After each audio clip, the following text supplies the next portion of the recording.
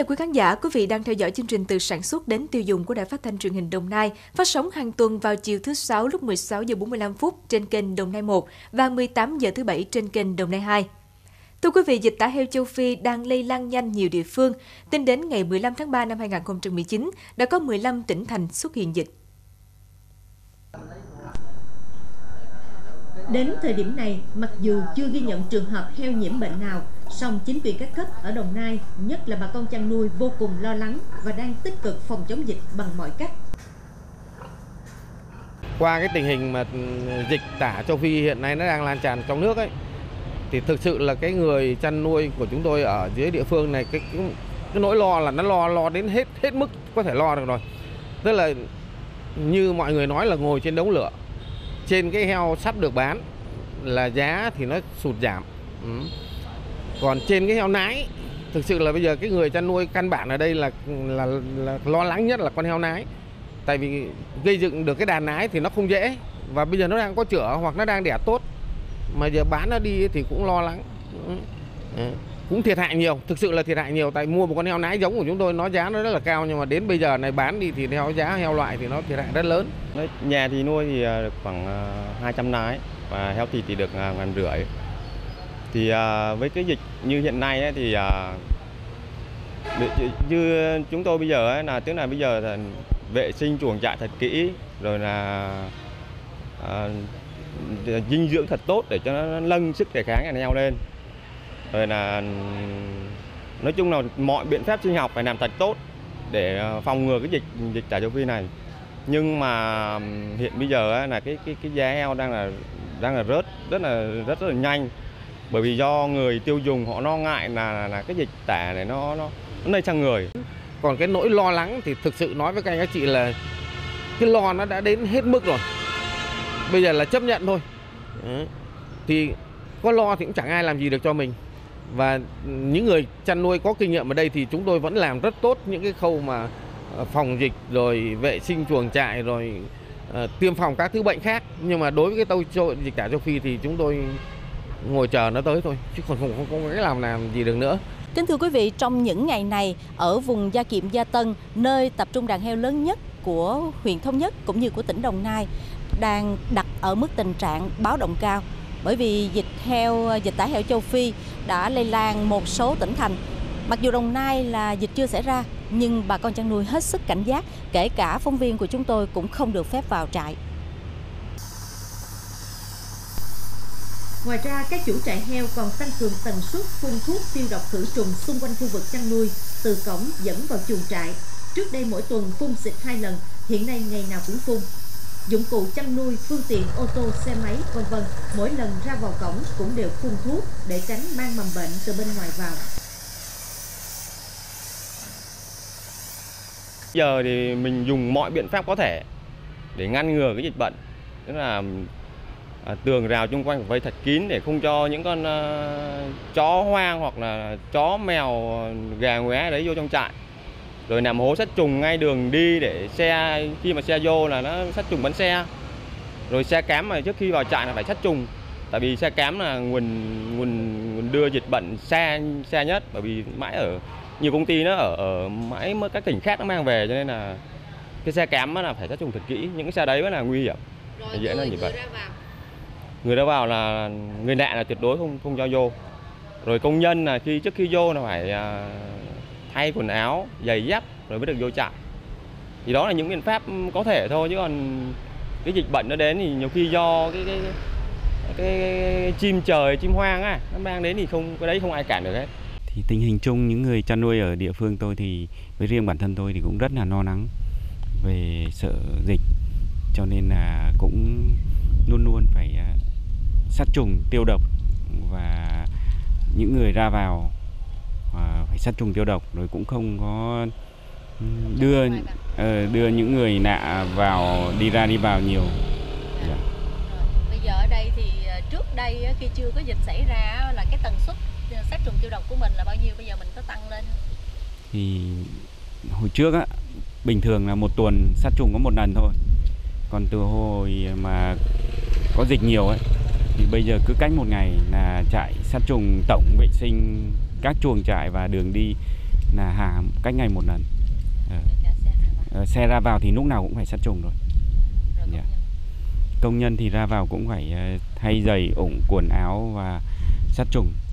Thì thức ăn thì khi xe về tới trại là cũng phải sát trùng xe và những người bốc xếp cũng phải thay giày ủng để vào trại để vác cám xuống nhà kho cám bây giờ đó là những cái cách mà mình có thể mình chủ động mình ừ. thực hiện. Nhưng mà tuy nhiên cái dịch này thì nó có nhiều cái nguồn lây. Còn những cái mà khách quan thì mình không thể nào mình biết được đúng không anh? Đúng rồi thì bây giờ chỉ chủ động à, sát trùng tiêu độc rồi phòng ngừa những người ra vào và những uh, khách nạ còn khách quan mà bây giờ mà bảo dịch nó tới thì cũng không biết tại vì nó rất là vô hình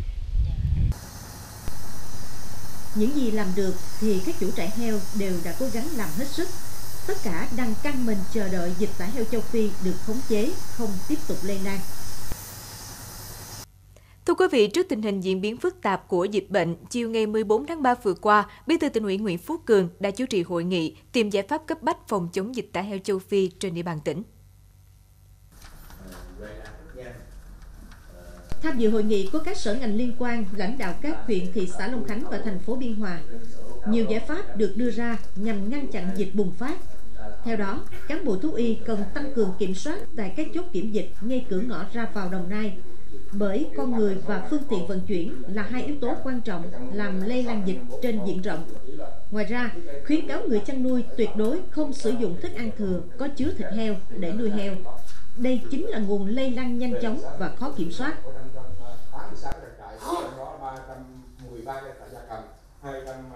À, khi mà à, dịch đã vào Việt Nam ở các tỉnh phía Bắc thì Đồng Nai cũng đã có cái kế hoạch hành động rất là cụ thể à, kể cả phòng và chuẩn bị cho chống dịch.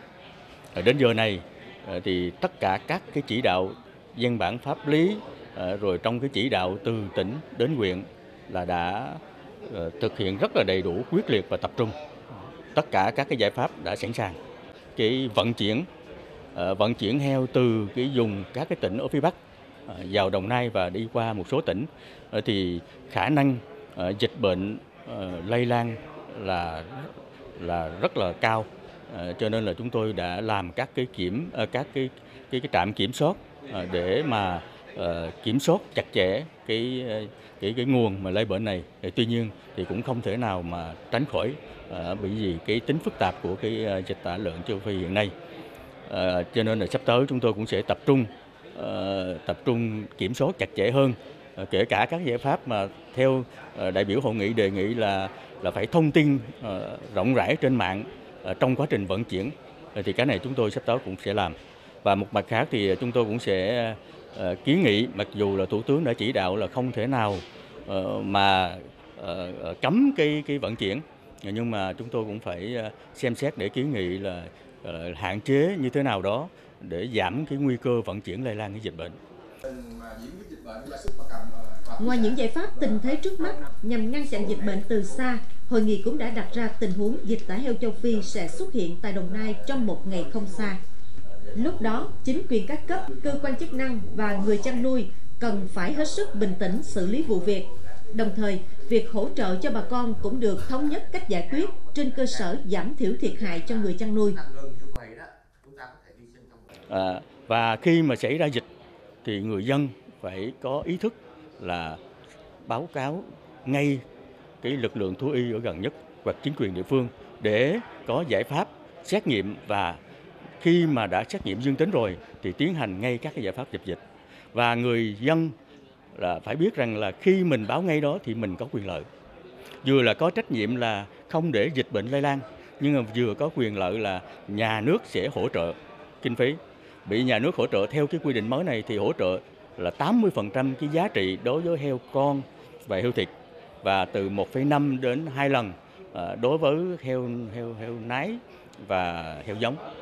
Ờ, thì khi mình à, à, khai báo thực tình rồi thì nhà nước sẽ hỗ trợ và sẽ hỗ trợ ngay. Rồi đối Đồng Nai chúng tôi thì à, theo cái quy định là hỗ trợ theo kg. À, nhưng mà nếu mà theo kg thì nó sẽ à, có nguy cơ phát sinh thêm dịch bệnh nữa. Bởi vì phải có lực lượng, rồi phải có cân có phương tiện. Cho nên là đó là cái, những cái dụng, phương tiện, dụng cụ nó dễ lây lan bệnh. Thì có thể là chúng tôi sẽ xem xét ý kiến kiến nghị của tại cuộc họp này là cái tính con.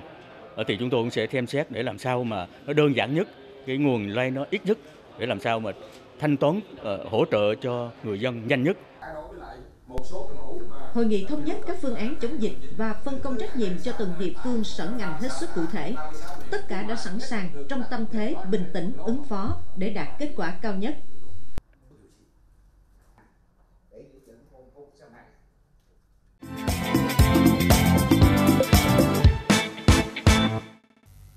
Thưa quý vị, trong lúc dịch tả heo châu Phi đang diễn biến phức tạp, mỗi người dân cần tỉnh táo trước những thông tin thất thiệt, sai sự thật, làm cho tình hình nghiêm trọng hơn.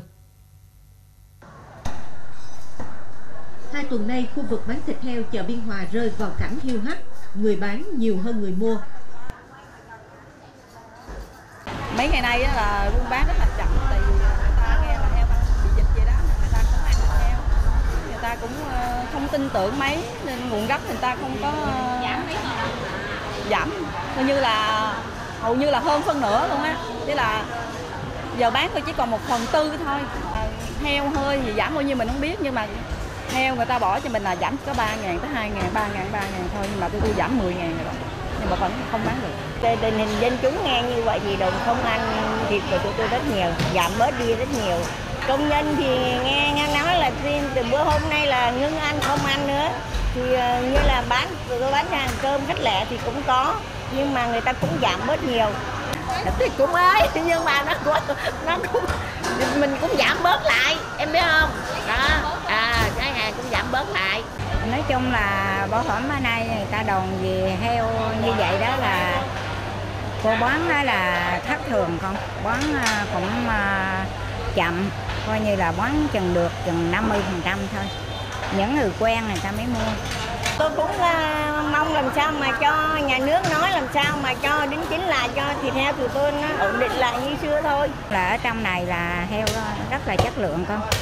Ban quản lý rồi là um, thú y rồi uh, nhận, quản lý thị trường đúng rồi là đi kiểm thường xuyên những ngày qua dịch tả heo xuất hiện ở miền Bắc miền Trung cách biên hòa hàng ngàn cây số mà sức mua đã giảm hơn phân nửa đây là hệ quả của việc thông tin sai sự thật, tung tin thất thiệt của kẻ xấu, khiến người dân hoang mang, không dám sử dụng thịt heo. Tuy nhiên, điều đáng mừng là vẫn còn nhiều người dân tỉnh táo, nắm chắc thông tin, ăn thịt heo không bị ảnh hưởng sức khỏe, cho nên tiếp tục tin dùng thịt heo làm thực phẩm chính cho gia đình mình. Chung là vấn đề đó thì mình nghe cũng rất là nhiều. Nhưng mà mình, có thể là mình mua hồi nào gì mình mua mối thì mình có thể là mình sẽ tin tưởng những cái người buôn bán. Tại vì người ta bán ở đây, người ta có mọc, có đồ đàng hoàng, chứ không phải là những người bán ngoài lề đường. Nên là mình ăn mình cũng rất là yên tâm. Thì à, mỗi ngày cũng vẫn mua thịt khi à, cần là ra hàng của nó mua không mà nhưng mà em không có lo lắng đâu, tại vì chỗ nó uy tín mà không có sợ, không có lo lắng. Uhm chị có nghe thông tin về heo có chứ em vẫn đọc vẫn coi truyền hình vẫn có thông tin mà về dịch bệnh của heo nè. Em cũng biết sợ lắm chứ nhưng mà chỗ nó uy tín nên em không sợ. Không theo thông tin trên uh, truyền thông thì uh, các mạng thì là nó không có lây qua người thành ra cũng không có gì phải lo lắng. Với lại cũng ăn bình thường với lại tôi mua là những cái chỗ mà mối quen uy tín thì cũng không sợ người ta lừa mình. Người tiêu dùng cứ an tâm vấn đề là ta chọn những cái nơi mà có uy tín trước nay đã là những cái nơi mà ta ta đã mua thường ngày thì chúng ta cứ an tâm chứ không sợ gì hết Mặt khác, trong bối cảnh hiện nay, trách nhiệm của những người gác cổng chợ đó là củng cố niềm tin cho người tiêu dùng bằng cách kiểm soát chặt chẽ thịt heo tươi sống nhập vào chợ mỗi ngày với chợ Biên Hòa thì cái ờ, thịt heo mà hàng ngày mà nhập chợ đều có cái ờ, sự phối hợp của trạm thú y với lại ờ, ban quản lý chợ để kiểm tra cái hàng nhập vô chợ. Rồi trong cái thời gian vừa rồi thì mà cái dịch tả heo châu Phi á, thì chợ cũng có tăng cường hơn tăng cường hơn về công tác kiểm tra ngoài kiểm tra cái đầu giờ mà nhập chợ 2 giờ sáng á, thì khoảng 7 8 giờ sáng là anh em có đi kiểm tra lại một lần nữa à, để tránh cái tình trạng mà trà trộn cái heo mà sau khi nhập chợ rồi họ đưa cái heo chưa qua kiểm soát giết mổ vào nữa. Thì cái này là ban lý chợ cũng đã có tăng cường để thực hiện theo kế hoạch của tỉnh cũng như của thành phố để chỉ đạo. Dịch tả heo châu Phi đang diễn biến phức tạp. Cả hệ thống chính trị đang vào cuộc và mỗi người dân chúng ta cần hết sức tỉnh táo, chung tay hành động thì dịch bệnh sẽ sớm được khống chế, không tiếp tục lây lan. Một lần nữa chúng tôi xin được nhắc lại, ngay lúc này mỗi chúng ta có thể góp phần ngăn chặn để lùi dịch tả heo châu Phi bằng cách không quay lưng với thịt heo. Vâng, hành động nhỏ nhưng mang một ý nghĩa lớn. Đến đây thì chúng tôi xin được khép lại chương trình từ sản xuất đến tiêu dùng. Cảm ơn quý vị đã quan tâm theo dõi.